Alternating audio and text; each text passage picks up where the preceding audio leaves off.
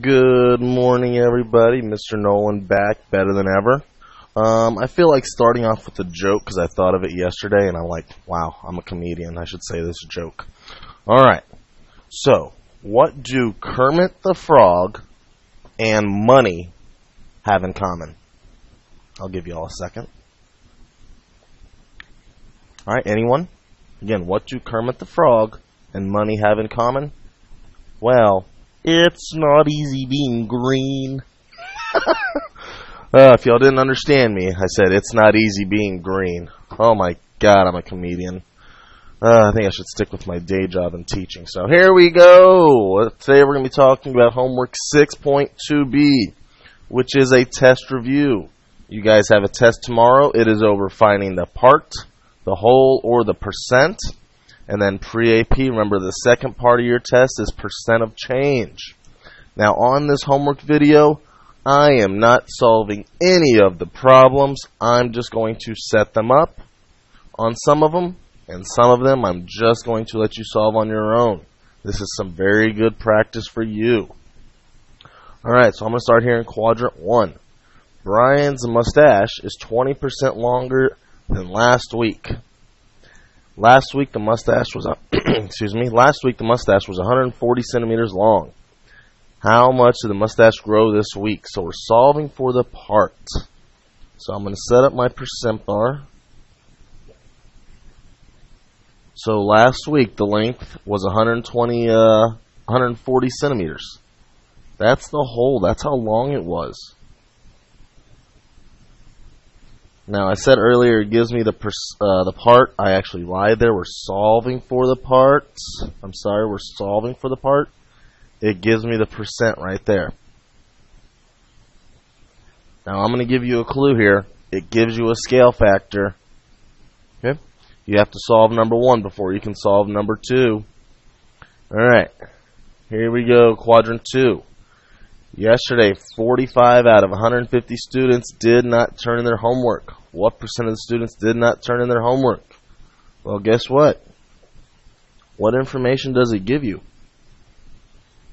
If you read the problem, does it give you a percent anywhere? No, it doesn't give you a percent anywhere, so that's what you're solving for. It gives you the part. How many students didn't turn in their homework? 45. Well, how many total students does the teacher have? The total is 150. Alright, I set it up. You get to go solve it.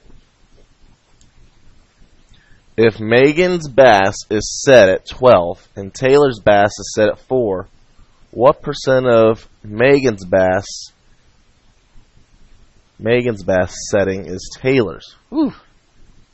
That's a weird sounding problem, but here we go. Now, if you look closely enough at the problem, does it give you a percent? No. So guess what? You are solving for the percent. This is what we're solving for. Now, it gives you the part, and it also gives you the whole. The whole is Megan's bass which is 12. It also gives you the part, which is Taylor's bass. Well, again, it's set up. You get to go solve it. I'm not going to set up or solve this one at all. That's all on you guys. Now, really fast, if you notice, this says pre-AP homework. Guys, the regulars and pre-AP homework is exactly the same, front and back. The only difference is the pre-AP has these two extra questions on the bottom. All right. So finding the whole. I'm going to do these two right here. Just setting up. The original Xbox cost $300 in 2001. This is about 75% of the cost of an Xbox One. Using this information, what is the price of the Xbox One? Well, guys, it gives you some key information. First of all, 100% represents the whole. The whole would be the cost of the Xbox One. Do we know what it is? No. It says, what is the price of the Xbox One? So we're solving for the whole. It gives you a percent. What percent does it give you? Gives you 75%. And what value represents 75%? Well, the original cost was $300. I set it up, you go solve it. Excuse me. The cost of a half gallon of milk in Brazil is about 40% of the cost in America. If milk cost $1 for half a gallon in Brazil, what is the average cost in America? Ooh. So again, look at the information it gives you. It gives you a percent. What percent does it give you? Ooh. It gives you 40%. And that 40% represents how much? It represents $1.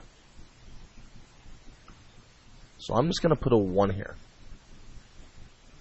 It says, what is the average cost of America? So that's what we're trying to figure out. What is the cost of the milk for America?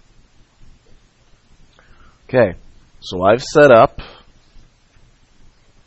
finding the part, finding the percent, finding the whole. Now these are mixed, so these are on your own. You got to figure this out on your own. So if you're in regulars, you're, you can now turn off this video. Pre-AP, I'm going to set up one of these, and you're going to finish. Now remember, when you are finding percent of change, you have to find the difference from the original to the new, and then you'll put the difference over the original amount. So I'm going to write this for both of them, just so you remember.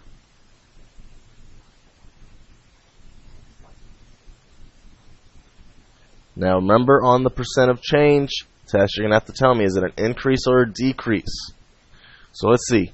A math book at Victor Valley College Bookstore originally cost $84. If they sell it for 126, what is the makeup rate? Well, original, new. So to go from the original to the new, did the price increase or decrease? Well, Mr. Noland, the price went up, so that's an increase. Very good, guys. So right there on your test, you answered part of the question. Okay? I'm not going to do that for number 11. I'm going to let you figure that one out. Now we're going to have to find the difference. 126 minus 84.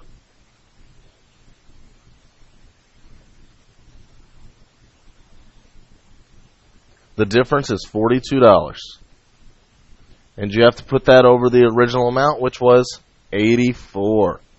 Now this should be an easy problem. Notice you have a fraction. Top in, bottom out. You go solve, you get your decimal, your decimal two places to the right. Alright guys, excuse me again, I hope this video helps you out. Now remember, I'm going to keep my day job as a teacher. I'm not going to go be a comedian.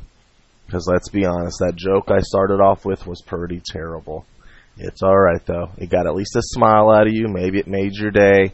That's all that matters. Alright guys, study tonight please. Study a little bit. Um, otherwise I think you'll be fine for this test. Alright guys, hmm, bye.